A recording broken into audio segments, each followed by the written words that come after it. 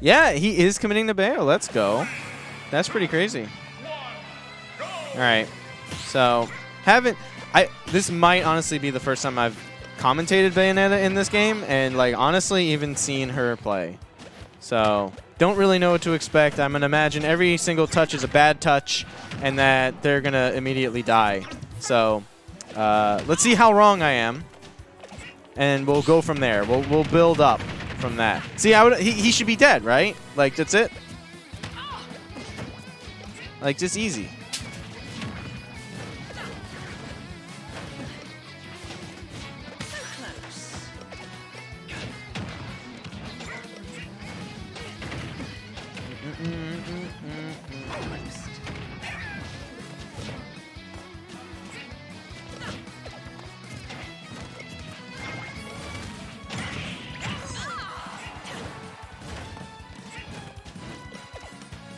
Sorry, let me just get this thing tweeted out.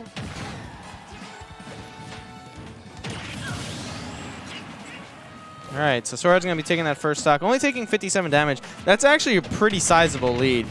Uh, he does have to build some extra damage to solidify the lead when, uh, if slash what, he loses his next stock. You see Purity definitely turning up.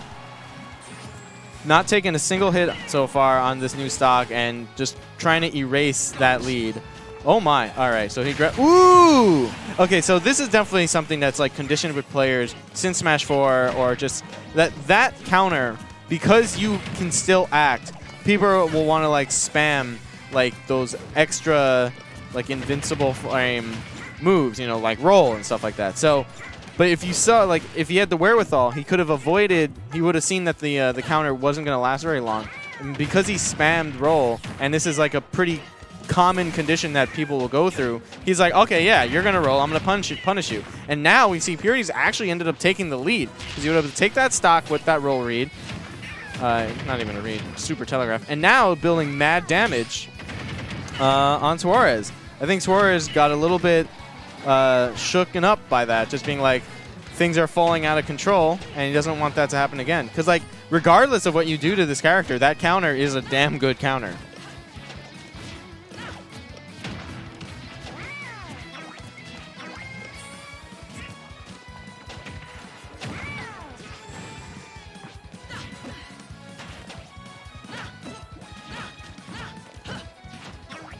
Okay. Suarez trying to close the gap. Uh, definitely at a percentage where anything he'll knock won't kill, but should land her in a precarious situation, getting him off stage. And, you know, that's what Yoshi wants to do, you know. Gets you off stage and then does, like, crazy shit. You know, with either, like, fair, either spiking or sh shooting outward, or Nair. Just, like, a lot of off-stage pressure. So, right now, if uh, Purity were to sneeze on him, uh, he might die. Ooh. I really like the way that he was pursuing. Although, hmm, yeah, no, I don't really think there was much this Royce could have done there. So, yeah, just uh, returning back to the neutral and up, just like that. See, we knock him off, and he was able to get the kill. So, right now, he's, like, not even knocking on Death's door. He's, like, walking through. Sup, Death, how you doing? And now we're in a one, one stock situation for the both of them. Uh, if Purity is able to do what he did second stock and just build that immense lead uh, and just like not get spooked in that or just, you know, does a really good job of avoiding any offstage situation, I, I think he has what it takes to take at least this first game. And I've I've spoken with Suarez a while ago, and he says that uh, PS2 is actually one of Yoshi's best stages. Um, so it's really interesting to see that if the way it goes, because right now I think that Purity is kind of in the driver's seat. You know, even though uh, like Suarez was able to get that kill, that was kind of like, kind of you know, lucky, you know, for lack of a better term. Oh my God! And just like that, wow. See, you can tell that Suarez isn't even happy about that. That wasn't like a wholly, like kind of earned win and he just like kind of gimmicked him. And the thing about when you get when you deal something kind of gimmicky, you know, they're they're not guaranteed to fall for that again. You know, that isn't a foolproof plan. And so like Suarez is wholly aware of this. And so he's definitely going to be treating that win as a loss. So if he's able to clean up his play and go from there, then we might have a pretty good, uh, we might see a pretty good comeback, like move-wise, for Suarez. But we'll have to see. Uh, Purity is going going into this game with the mindset saying like, hey, all right, I uh, I was actually doing really well in the neutral game, and I did uh, I did some fantastic uh, you know damage building, but I think he got a little bit nervous a few times. Anytime where Suarez was able to break him, and you saw like those down B's. it's like that's not really like a solid game plan. So if he's aware of that, he'll be like, okay, I can fix my, I can tweak my play just a little bit, and I can keep everything else the same, and I can probably seal out this win. But wasn't able to get that kill with that forward smash and ended up landing in a really bad situation. So Suarez actually going to take game one, uh, stock one now. So this is a little bit of a repeat of game one, except now Suarez didn't have like a substantial lead.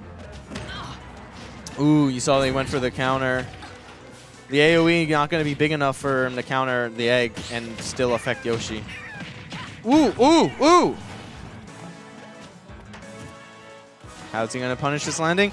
he went for a pivot grab a little bit too soon.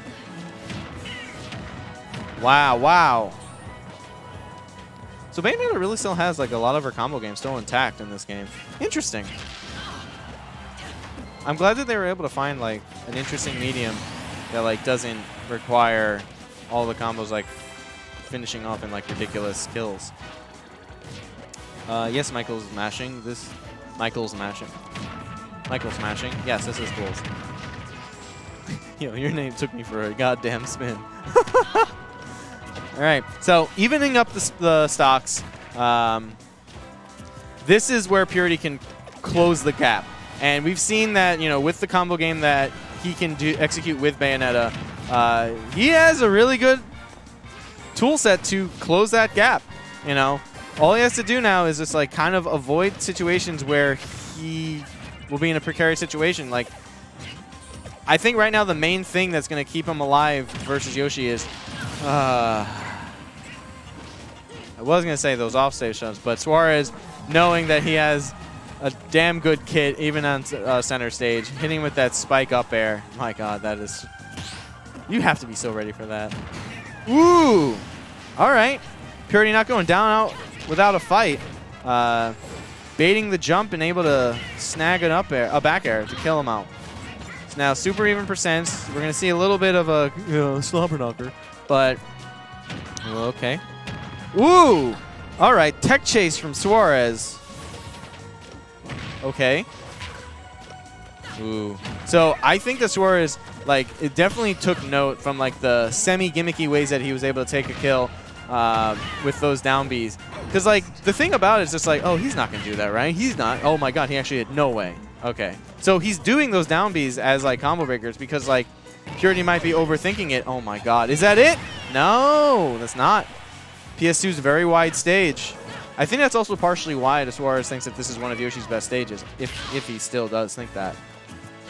Uh, but yeah, like Yoshi's heavyweight, uh, you know, it's hard to kill him upward, and killing him off the side is even more difficult because stage is just a lot of it. All right. Woo! That would have killed him Smash 4. without a doubt. Probably would have been on on the screen for one frame, balloon DI or not. Jesus. Oh my god. That was spooky. Oh my god. I Ooh. All right. Purity doing a really good job all the way till in the end, but wasn't able to seal it out. And uh, yeah, Suarez moves on.